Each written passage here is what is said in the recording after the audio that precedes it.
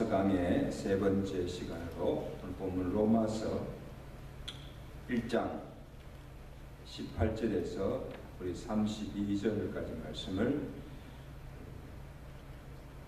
보십니다. 로마서 1장 18절에서 우리 32절까지 말씀을 제가 공부하겠습니다. 하나님의 진노가 불의로 진리를 막는 사람들의 모든 경건하지 않음과 불의에 대하여 하늘로부터 나타나니 이는 하나님을 알만한 것이 그들 속에 아, 보임이라 하나님께서 이를 그들에게 보이셨느니라 창세로부터 그에 보이지 아니한 것들 곧 그의 영원하신 능력과 신성이 그가 만드신 만물에 분명히 보여 알려졌나니 그러므로 그들이 핑계하지 못할지니라. 하나님을 알되 하나님을 영화롭게도 아니하며 감사하지도 아니하고 오히려 그 생각이 허망하여지며 미련한 마음이 어두워졌나니 스스로 지혜 있다 하나 어리석게 되어 썩어지지 아니하는 하나님의 영광을 썩어질 사람과 새와 짐승과 기어다니는 동물 모양의 우상으로 바꾸니라. 그러므로 하나님께서 그들을 마음의 정욕대로 더러움에 내버려 두사 그들의 몸을 서로 욕되게 하게 하셨으니 이는 그들이 하나님의 진리를 거짓 것으로 바꾸어 피조물을 조물조보다 더 경배하고 섬깁니다. 주는 곧 영원히 찬송할 이시로다. 아멘. 이 때문에 하나님께서 그들을 부끄러운 욕심에 내버려 두셨으니 곧 그들의 여자들로 순리대로 설 것을 바꾸어 영리로 쓰며 그와 같이 남자들도 순리대로 여자 서기를 버리고 서로 향하여 업력이 부릴 듯하며 남자가 남자와 더불어 부끄러운 일을 행하여 그들의 그릇 때문에 상당한 보험을 그들 자신이 받았느니라. 또한 그들이 마음에 하나님 두기를 싫어하며 하나님께서 그들을 그 상실한 마음대로 내버려 두사 합당치 못한 일을 하게 하셨으니 곧 모든 불의, 추악, 탐욕, 악의가 가득한 자요. 시기, 살인, 분쟁, 사기, 악독이 가득한 자요. 수근수근하는 자요. 비방하는 자요. 하나님께서 미워하시는 자요. 능력하는 자요.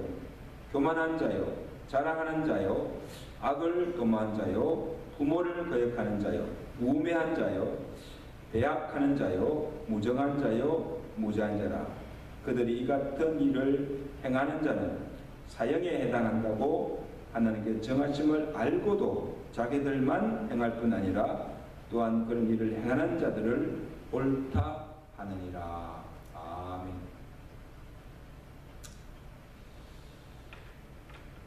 아, 우리가 늘 하나님은 사랑이시고 또 자비와 긍휼이 많으신 하나님으로 그렇게 알고 있습니다.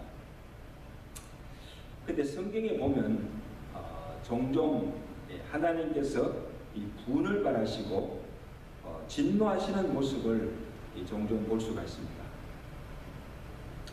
어떤 신학자들은 어, 사랑의 하나님께서 어떻게 진노하실 수 있는가? 또 사랑의 하나님이신데 어떻게 지옥을 만들고 또 무슨 형벌로 이 죄인들을 심판할 수 있는가? 이는 하나님의 사랑과 자비의 속성과 모순된다고 생각합니다. 그래서 아예 죄도 심판도 지옥을 부정해 버립니다. 이건 아주 잘못된 것이죠. 근데 사람들이 인정하든 부정하든 어, 믿든 말든 하나님은 사랑의 하나님인 동시에 또 공의의 하나님으로 죄에 대해서 악인에 대해서 진노하시고 심판하시는 하나님심을 성경은 증거하고 있습니다. 있습니까? 하나님은 사랑의 하나님 동시에 또 공의의 하나님이시다. 자, 보면 18절에 보면 하나님의 진노가 불의로 진리를 막는 사람들의 모든 경건하지 않음과 불의에 대해서 하늘로부터 나타난다. 그렇게 기록하고 있습니다. 자, 여기 시제가 과거형이 아니고 현재 진행형이에요. 이 말은 하나님의 진노가 어디부터 하늘로부터 과거로부터 지금까지 현재도 계속 나타나고 있다는 거예요. 자, 하나님께서 그러면 왜 무엇에 대해서 하나님께서 진노하십니까? 자, 첫째는 죄와 불의를 결코 용납하지 못하시는 하나님의 거룩하심에서 기인된다는 거예요. 다시 말하면 죄에 대한 하나님의 반응이 뭐예요? 진노로 나타난다. 그러니까 거룩하신 하나님의 속성상, 의로우신 하나님의 속성상 죄와 불의를 결코 보지 못하시고 용납하지 못하심으로 진노하실 수밖에 없다는 거예요. 그래서 하박국 1장 13절에는 하박국 선자가 하나님이 어떤 분이신가? 주께서는 눈이 정결하심으로 악을 참아보지 못하신다. 무엇을 보지 못하신다? 악을 참아보지 못. 왜? 정결하시기 때문에.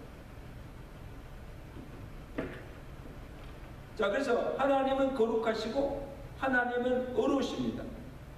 그러므로 이 죄와 거룩, 의와 불의가 같이 갈 수가 없고 같이 공존할 수가 없는 거예요. 마치 뭐예요? 물과 기름처럼 같이 합할 수가 없는 거죠. 그러므로 하나님께서 공의의 하나님께서 죄를 보고 불의함을 보고 참지 못하시고 진노하시는 거예요. 자 보세요. 성경에 여러 군데 있잖아요. 하나님의 명령을 어기고 어, 따먹지 말라고 하는 선악과를 따먹고 불순종한 범죄한 아담에게 하나님 가만히 두셨어요? 하나님께 진노하시고 그 다음에 에덴에서 쫓아내셨어요. 추방. 그리고 죄와 악이 관영한 노아 시대 사람들 또 소돔과 고모라 사람들을 하나님 가만히 두지 않았었어요. 어떻게 하십니까? 진노하시고 물로 노아 시대 사람들을 다 홍수로 쓸어버렸어요. 그리고 소돔과 고모라 사람들 하면 하늘에서 유황 불을 내려서 불을 내려서 다 그 성을 멸하시고 다 멸망시키십니다. 그 하나님의 진노를 쏟아 내신 거예요. 또 광야 생활 동안에 하나님을 원망하며 시험하는 그 이스라엘 백성들을 보시고 하나님 참지 못하시고 노를 발하시고 불뱀을 보내서 다 물어 죽게 하신 것을 봅니다. 하나님 외에 어, 다른 신을 두고 우상 숭배하는 자들과 또 하나님의 말씀을 거역하고 불순종하는 자들을 보시고 노르바시고 때로는 전쟁을 일으켰어. 때로는 기근이나 연병으로 여러 가지 역병을 보내서 그들을 다 멸하기시도 하신 것입니다. 왜? 하나님께서 죄와 불의와 불법을 행하는 자들을 보시고 진노하시고 그들을 심판하십니다. 자, 그래서 죄에 대한 하나님의 진노를 가장 분명하게 보여주는 것이 바로 뭐예요? 십자가입니다. 십자가. 이 십자가는 하나님의 사랑인 동시에 하나님의 공의를 나타내 표현해 준 것이 십자가예요. 그래서 십자가는 이 죄에 대한 철저한 하나님의 공의 심판이요. 죄인들에 대한 하나님의 진노하심의 최고의 표현이 바로 십자가입니다. 아들을 십자가에 달려 죽이시까지 죄를 미워하시고 죄를 심판하십니다. 왜? 죄의 삭은 사망이요. 죄인에게 이말 하나님의 진노의 심판이 어떠함을 십자가를 통해서 나타내 보여주신 거예요. 자, 우리 17절 한번 볼까요? 자, 17절 우리 다 한번 보시면 복음에는 하나님의 무시 나타나서 의가 나타나서 복음으로 믿음에 이르게 하나니. 자, 이게 보세요. 자, 하나님의 의, 이 의가 뭔가 하면 복음이죠. 복음을 믿는 자. 하나님의 의를 믿는 자에게는 무엇을 주십니까? 구원을 주시지만 동시에 하나님의 의, 복음을 거절하고 믿지 아니하는 악인에게는 진노를 나타내신다. 자, 이것이 복음의 양면성이죠. 복음의 양면성인데, 자, 그래서 우리가 복음을 전할 때, 여기 보세요. 복음을 전할 때 구원을 주시는 하나님의 사랑도 전해야지만 누구든지 예수 믿으면 구원을 얻습니다. 영생을 얻습니다. 하나님의 사랑을 전하기도 하지만 동시에 죄인들에게 임할 하나님의 진노, 심판도 전거해야 된다는 거예요. 그 옛날에 어, 최권동 목사님께서 전도할 때 아주 심플하게 전도했어요. 예수 천당, 불신 지옥. 그럼 따라할까? 예수 천당, 불신 지옥. 이게 복음을 가장 명확하게 나타내는 표현이에요. 복음의 양면성. 예수 믿으면 천국. 예수 믿지 않으면 뭐예요? 지옥. 예수 천당, 불신 지옥. 예수를 믿고 하나님의 의를 믿는 자에게는 하나님께서 사랑하셔서 구원해 주시고 천국에 인도하지만 반면에 하나님의 의를 믿지 아니하고 복음을 거절하지 않는 악인들에게는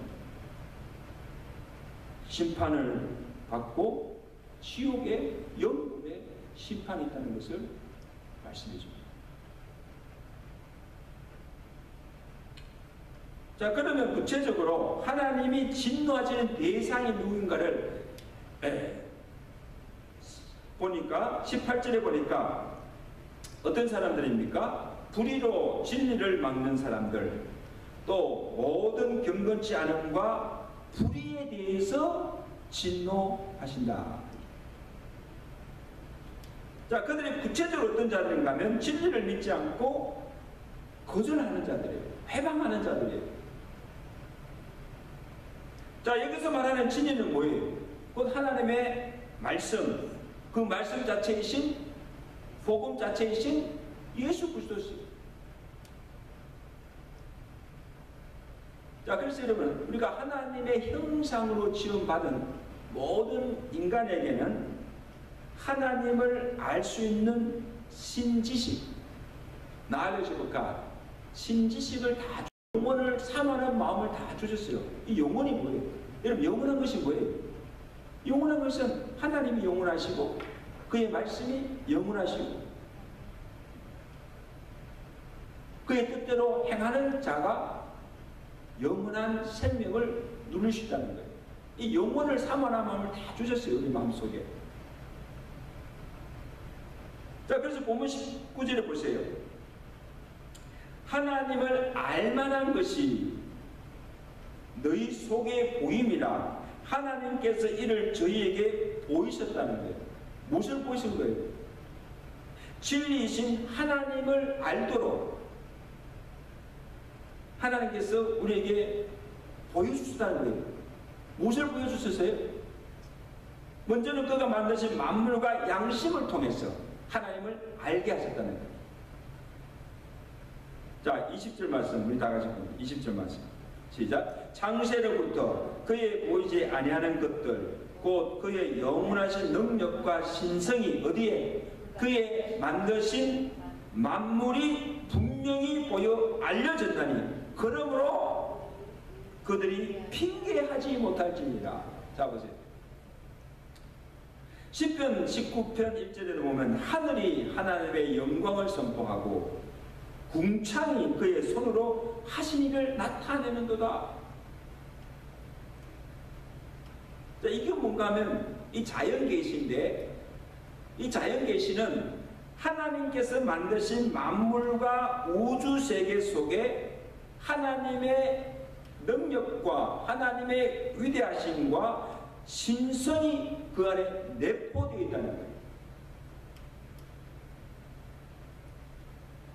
그래서 여러분 우리가 이 자연 세계를 바라보면서 경치를 보면서 아마 그냥 장엄한 그런 경치를 보고 그냥 놀라잖아요. 근데 우리 믿는 성도들은요, 그것을 그냥 아 아름답다, 참 야 대단하다 이렇게 경치에 감탄할 뿐 하지만 말고 그 속에서 우리는 무엇을 발견합니까? 하나님의 오묘한 하나님의 손길, 장엄하고 위대하신 그 하나님의 능력을 그 자연 속에서 우리가 발견할 수 있다는 거예요. 그리고는 주 하나님 지으신 모든 세계 하고 막 찬양 올리드리는 거예요. 그런데 이 진리를 막는 자들, 이 경건치 않는 자들은 어떻게 합니까? 이들은 눈으로 하나님이 만드신 피조 세계를 보면서도 그 장엄함과 위대한 그 아름다운 자연 세계를 보면서도 창조주 하나님을 부인합니다. 하나님 없다는 거예요. 또한 믿지 않을 뿐 아니라 21절에 보니까 그들이 어떻게 하나님을 알되 하나님이 분명히 만물 속에 하나님의 신성과 능력을 보이고 알게 해주는데도 불구하고 믿지 아니하고 또 하나님을 영화롭게도 아니하며 감사치도 아니하고 오히려 그 생각이 허망하여지며 미련한 마음이 어두워져서 썩어지지 아니하는 하나님의 영광을 썩어질 사람과 새와 짐승과 기어다니는 동물 모양의 우상으로 바꾸어 숭배하며 하나님의 진리를 거짓으로 바꾸어 피조물을 조물조보다 더 경배하고 섬김이라.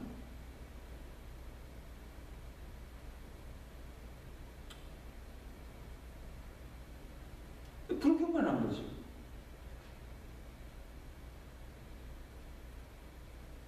우리가 죄라고 하면 도둑질하고 강도, 사람을 죽이고 강간하고 뭐 간음하고 이 부도덕한 일을 행한 것을 죄라고 거 맞죠? 그것도 죄예요. 그런데 죄 중에 가장 큰 죄가 무엇인지 아세요? 하나님 믿지 않는 불신. 그리고 하나님 외에 십계명 있잖아요. 제 첫 계명 하나님 외에 다른 신을 섬기거나 우상을 만들어서 숭배하는 것. 불신과 우상 숭배. 제 중에 가장 큰 죄. 하나님을 욕되게 하는, 하나님 이름을 욕되게 하는, 하나님을 망령되게 일으키는 것.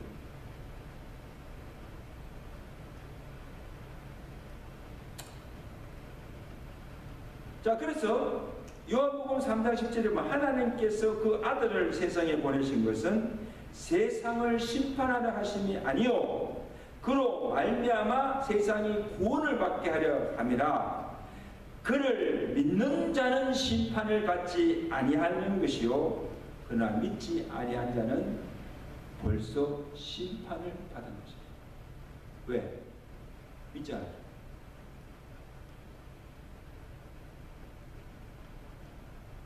그래서 우리가 아무리 인간적으로 착하고 도덕적으로 깨끗하게 살았어도 천조도 하나님을 부인하고 그의 아들 예수 그리스도를 믿지 아니하면 하나님의 진노의 심판을 피할 수가 없다는 거죠. 믿으시면 아멘.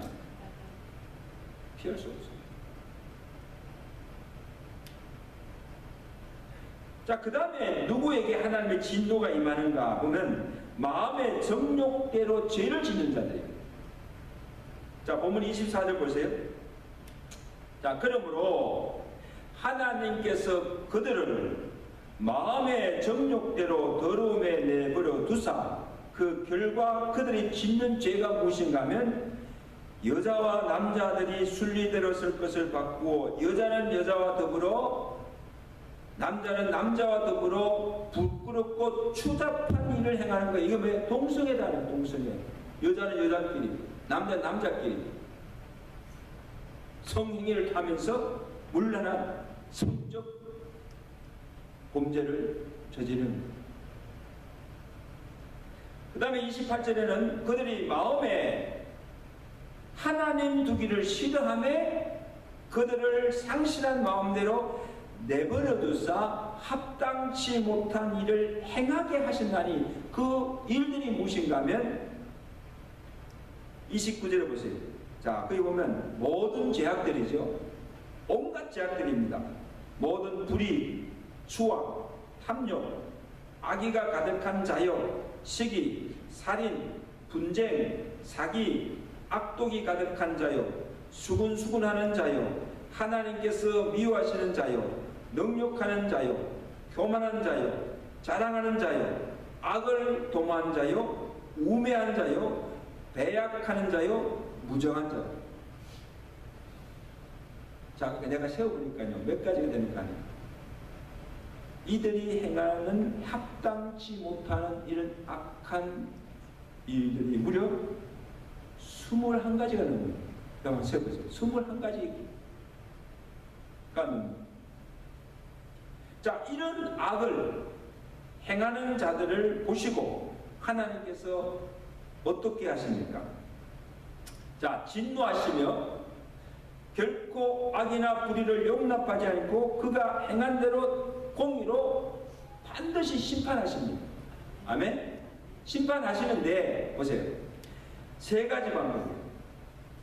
첫째는 당장 벌하지 않으시고 그죠? 죄를 짓는데 그러면 바로 이렇게 벌하시고 심판하지 않으시고 참으시고 기다리세요. 왜? 회개할 때까지 기회를 주신 거예요. 왜? 하나님은 한 사람도 멸망치 않고 회개하고 믿고 구원받기를 원하시고 비록 실수하여 범죄할지라도 당장 벌하지 않으시고 그의 오래 참으세요. 회개할 때까지 기다리십니다. 그 다음에 둘째는 즉각적인 심판을 행할 때도 있어요. 그래서 질병을 주기도 하고 고난을 당하게 하기도 하시고 기근을 주었어. 이러한 것으로 하나님의 진노의 심판을 개인이나 가정이나 국가에 주시기도 하시고 그 다음에 셋째는 계속 쌓아놓으시고 마지막 심판대까지 유보하십니다. 그래서 로마서 2장 5절에 보시면 다만 내 고집과 회개하지 아니한 마음을 따라 진노의 날, 곧 하나님의 의로우신 판단이 나타나는 그날에 그날이 무슨 날입니까? 마지막 날 하나님 심판대 앞에 서는 그날 그날에 쌓았던 진노를 나타내 보이시다.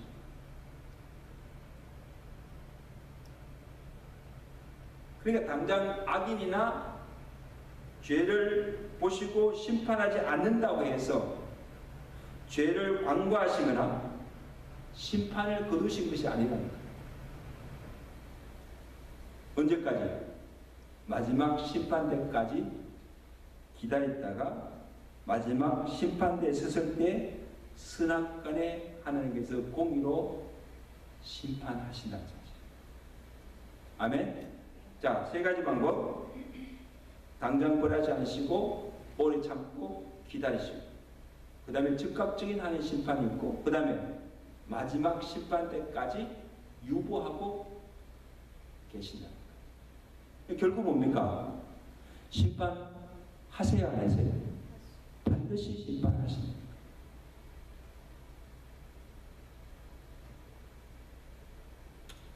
고린도후서 5장 10절이지요. 우리가 다 반드시 그리스도의 심판대 앞에 나타나게 되어 각각 선악간에 그 몸으로 행한 것을 따라 받으려 그리고 우리가 하나님 들어야 돼요. 마음대로 살 수가 없어요. 마음대로 죄짓고 살 수가 없어요. 우리가 사는 동안 우리가 행한 그대로 선악 간에 마지막 날 하늘 앞에 서서 하나님의 공의 심판을 받게 된다는 거죠. 그러면요, 우리 마지막 심판을 기억하면 우리가 마음대로 살 수 있어요, 없어요? 마음대로 살 수가 없는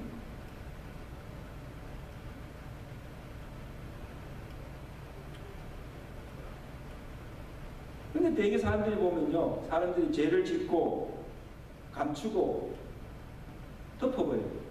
자꾸 덮으려고 해요. 그러니까 이 발각되지 않고 예, 드러나지 않으면 된다고 생각해요. 이보다 더 큰 착각이 없어요.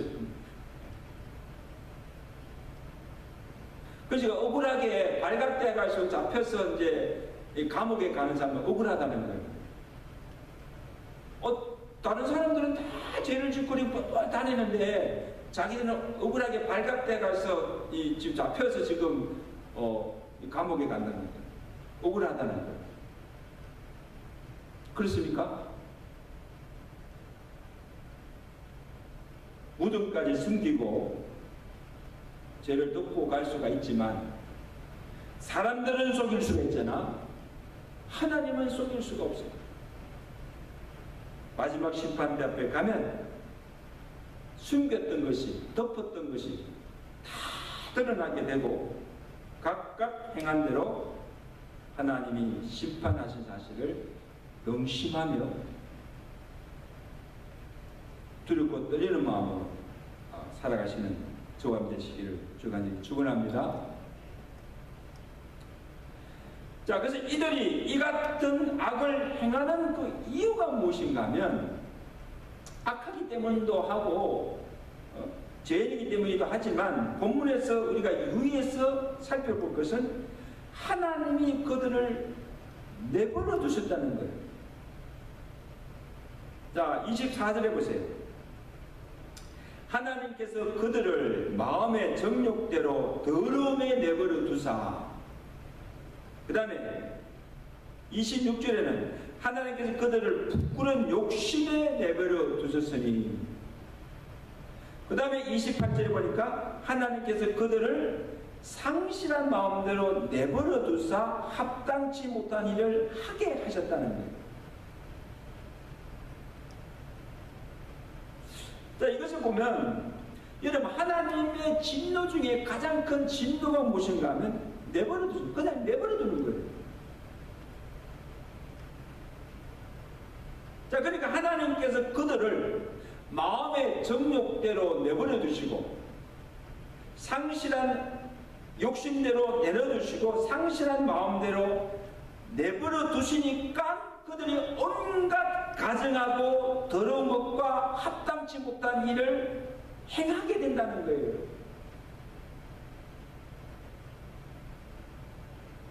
그리고 그러한 악 일을 행하고도 조금도 부끄러워할 줄도 모르고 양심의 가책도 없고 자신이 무슨 짓을 하는지도 깨닫지 못하고 계속 악을 거예요. 철면피 같은 자들이죠. 어떻게 우리가 요즘 범죄 이게 재짓고 이렇게 가끔 뉴스에 나온 사람들 보면요. 인간의 탈을 쓰고 인간의 탈을 쓰고 어떻게 저렇게 흉악한 무서운 죄를 지었을까? 그냥 놀라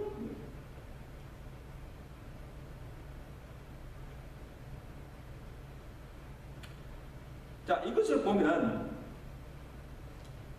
하나님의 진노가 그 하나님의 거룩하심에서 기원하기도 하지만 하나님의 사랑하심에서도 기인한다고 볼 수가 있습니다. 두 가지만 하면 돼요. 거룩하시기 때문에 죄와 불의를 보지 못하시고 진노를 쏟아내시는 거예요. 그리고 악인들을 심판하는 거예요. 동시에 그 진노가 하나님의 사랑에서 또 진노를 하신다는 거예요. 왜? 하나님이 사랑하는 자녀면 그 자녀가 잘못하고 죄를 지을 때마다 그냥 가만히 내버려 두지 아니하시고 어떻게 하십니까? 화를 발하시고 꾸짖고 책망하시고 그래도 말을 듣지 않으면 매를 때려서라도 징계를 주어서라도 깨닫게 하시고 돌이키게 하십니다. 미워서가 아니라 우리를 뭐예요? 사랑하기 때문에 사랑하기 때문에 그냥 가만히 두지 못 내버려 두지 못 할 수가 없는 거예요. 아, 지금 잘못된 길로 가고 있고 죄를 짓고 지금 막 하고 있는데 어떻게 가만히 두겠습니까? 그러니까 간섭하시고 책망하시고 그러면 안 된다고 그래도 말안 들으면요 그냥 징계를 주서라도 돌이키게 하시고 이게 하나님의 사랑입니다. 아멘. 사랑하고 있다는 증거예요.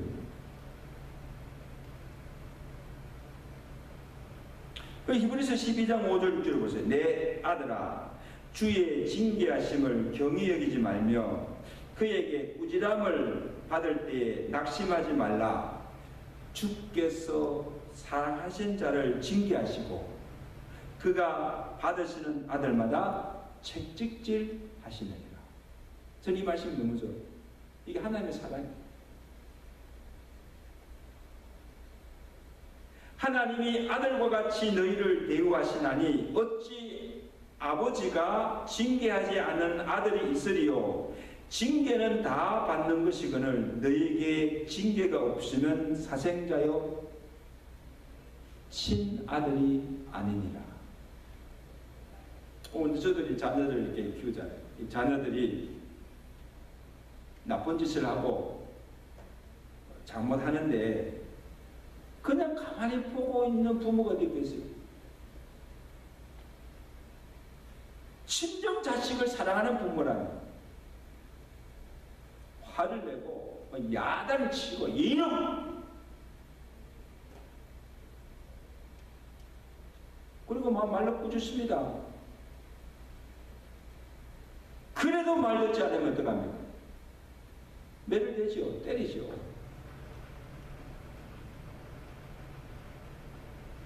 그리고 뭐 벌을 줍니다. 다시는 그러지 마라. 왜?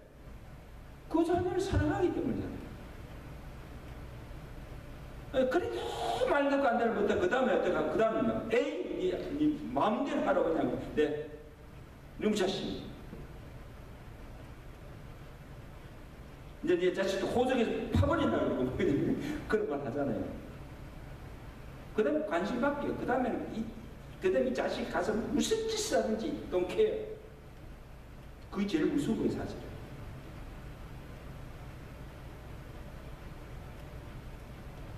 그냥 그대로 내버려 두면 어떻게 됩니까? 자식을 망치기 때문에. 그러니까 때려서라도 신계를 해서라도 잘못된 행동을 고치고 바로 잡고 사람답게 살게 하기 위해서 이게 부모의 사랑 아니에요? 우리 아들도 있지만 그렇죠? 이 부모의 사랑이에요 아 부모가 아직도 나를 사랑하고 있다는 것을 보여주는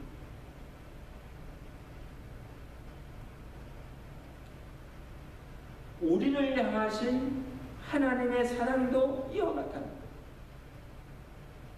하나님의 자녀들이 잘못하고 범죄할 때마다 그냥 내버려 두지 아니하시고 꾸짖고 책망하시고 매를 때리고 징계해서라도 그로 깨닫게 하시고 돌이켜서 다시는 죄를 범치 아니하고 하나님의 거룩한 자녀답게 살도록 인도하십니다. 아멘? 하나님의 사랑입니다. 여러분, 우리가 성도가요, 공간 성도가 마음대로 살고, 죄 짓고, 뭐 말씀을 불순종하는데도 그냥 모든 게잘돼 간다고 해서 기뻐할 일이 아닙니다. 절대 기뻐할 일 아닙니다.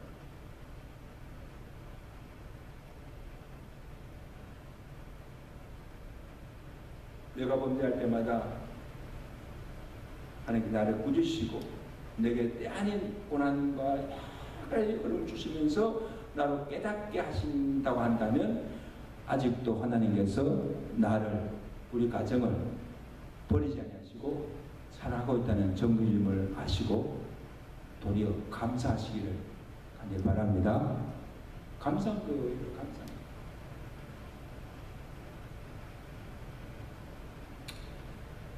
산성도 여러분 하나님의 진노가 그의 거룩하심과 사랑하심에 기인한 것을 보여줍니다. 그러므로 하나님이 거룩하심으로 그의 자녀 우리 또한 거룩해야 하고 하나님이 어루시고 선하심으로 우리 또한 불의하거나 악을 아니 되고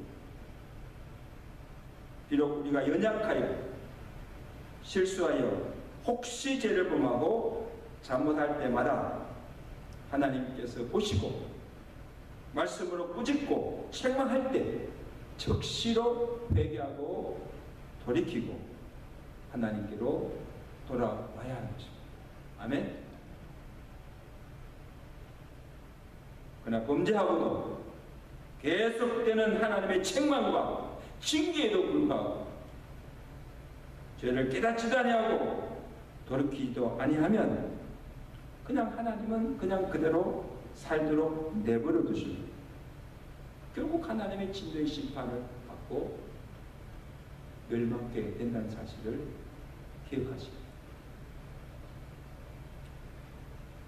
그러므로 오늘 이 하나님의 진노가 예, 거룩하심과 사랑하심에 있어서 기록된 것을 어, 기억하시고 오늘 저와들이 정말 하나님 앞에서 거룩한 하나님 자답게 예, 살아가시는 저와 되시기를 주간절히 축원합니다. 축원합니다. 네, 기도하겠습니다.